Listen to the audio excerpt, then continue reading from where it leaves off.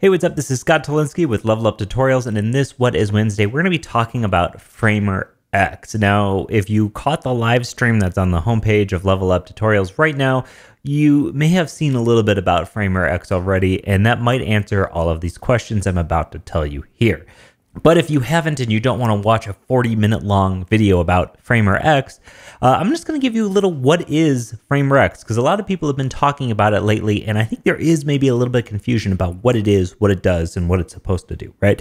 So, Framer X here is a design application a la Sketch, Figma, Adobe, uh, InVision Studio, any of these kind of things, right? So it works very much similarly to one of those. And if you look at the interface I have here, this is one of their little test um, test application, just sort of designs here.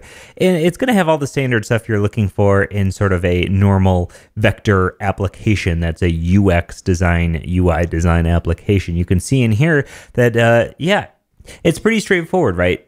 Uh, it has a component system similar to Figma where you can create a component and then you can reuse that component, update the master component, and see those updates take place across your app. Uh, sort of just like any sort of component based design system. It's a bit more powerful than Sketches where you have a symbol and it gets into be a total mess, right? Uh, this is a bit more of following Figma's lead where you have a component and you can just as easily branch that component off in a nice and easy way. Uh, and not to say Sketches is awful or something, but these these applications I think have fine tuned the idea a little bit more. And so check it out. We also have some really neat killer interactive prototyping features and some interesting design features. For instance, we can move things around here. Let's go ahead and actually select one of these. This is called a stack.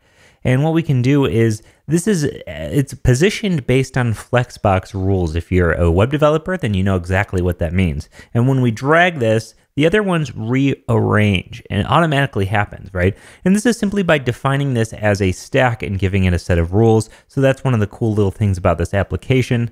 Another cool thing is that there's things like scrolling zones. I have my one of my own over here, and we can open up this sort of prototyping view up top here, click this, and you can see I can interact with this. It's a little small on screen, but uh, I can scroll into this wheel if I want. And I can click around and I can add new touch zones and stuff like that.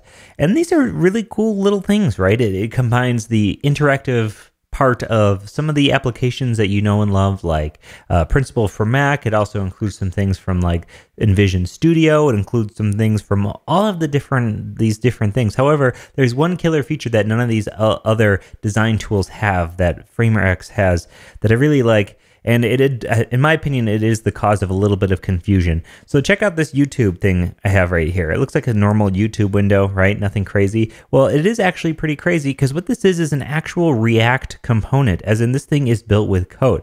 Now, some distinction. You cannot take a bit of design and convert it to React code. This application does not do that. It's not a it's not a React prototyping application.